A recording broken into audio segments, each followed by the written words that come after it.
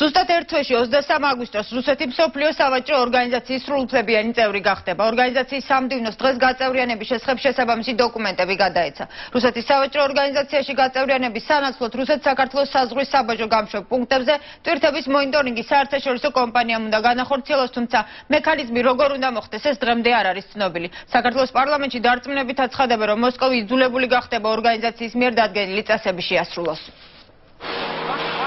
რუსეთი მსოფლიო სავაჭრო ორგანიზაციაში გაწევრიანებას 18 წლის განმავლობაში ცდილობდა. უკანასკნელი დაბრკოლება ამ გზაზე ოფიციალური თბილისის პოზიცია გახდა. რუსულ მხარეს საზღვრის აფხაზეთისა და ეგრეთ წოდებული სამხრეთ ოსეთის მონაკვეთებზე ტვირთის მონიტორინგი უნდა დაეშვა.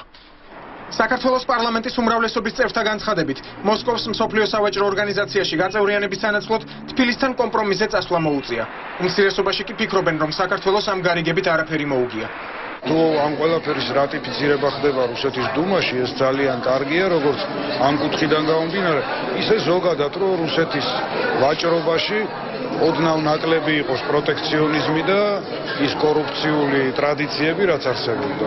თავარი სარგებელი რაც შეიძლება არსებობდეს, ეს არის რუსეთის ჩართვა აი ამ გლობალურ ეკონომიკურ პროცესებში უკვე არა თავისი წესებით, არამედ სოფლიო სავაჭრო ორგანიზაციის წესებით. ჯერჯერობით არანაირი მოგება, არანაირი თქვა წინსვლა მაგმიმართულებით არ მიგვიღია. ჩვენი პირობების შესრულება ჯერჯერობით არანაირ რეალობას არ წარმოადგენს. ის რომ საკონტროლო გამშვიდ პუნქტზე ქართულმა მესაზღვრეებმა აფხაზეთთან ერთად გააკონტროლონ ფსოუზე არანაირი შესრულებადი არ მგონია. რეალურად ხელისუფლება მაშინ სერიოზულად მოიტყუა თავი.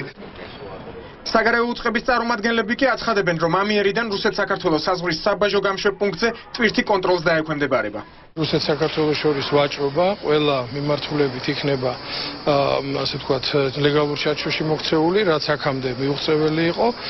მოხდება ამის გაკონტროლება, სწორედ დამოუკიდებელი, ასე ვთქვათ, შერჩეული უცხოური კომპანიის მიერ იმ კორიდორების მონიტორინგის მეშვეობით, რომლის საშუალებითაც განხორციელდება ეს ვაჭრობა.